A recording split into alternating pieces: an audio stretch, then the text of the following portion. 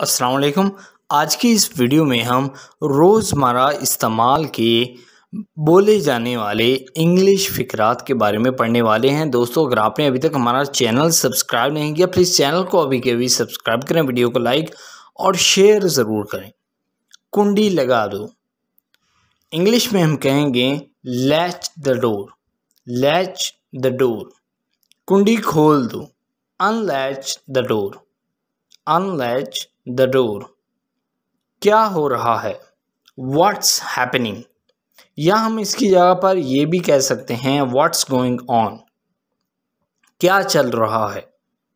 उससे पूछो ask him उससे पूछो आस्क हिम पास से देखो वॉच क्लोजली इससे पहले बिफोर डैट कुछ बोलें से समथिंग इसे पकड़ो। होल्ड दिस मैं निकलने वाला हूँ। I am about to leave मैं तंग आ गया हूँ। I am fed up I am fed up बैठे रहें। कीप सिटिंग आगे आओ। कम फॉरवर्ड इसे ठीक करो। फिक्स डैट इस बारे में सोचा। इस बारे में सोचना। थिंक अबाउट इट बहरहाल एनी हाउ किसी तरह से सम हाउ ये तो होना ही है। इट हैज़ टू हैपन कभी भी एनी टाइम अच्छा ख्याल है गुड आइडिया बोलना बंद करो स्टॉप टॉकिंग भूल जाओ फॉरगेट दिस मैं उठ गया आई एम अप कम अज़ कम एट लीस्ट किस लिए फॉर वट किसी भी कीमत पर एट एनी कॉस्ट हमेशा के लिए फॉर एवर मैं राज़ी हूँ। आई अग्री आई अग्री शायद मे बी मैं तुमसे पूछ रहा हूँ।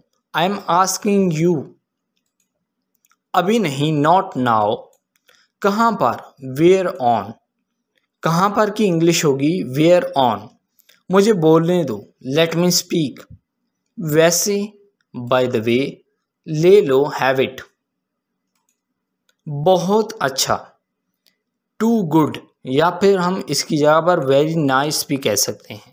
नहीं कह सकता कांट से खुदा का शुक्र है थैंक गॉड बाद में लेटर ऑन ज़बरदस्त फंटेस्टिक सो आई होप दोस्तों ये वीडियो आपको बहुत पसंद आया होगा। पसंद आया हो तो प्लीज़ वीडियो को लाइक ज़रूर करें।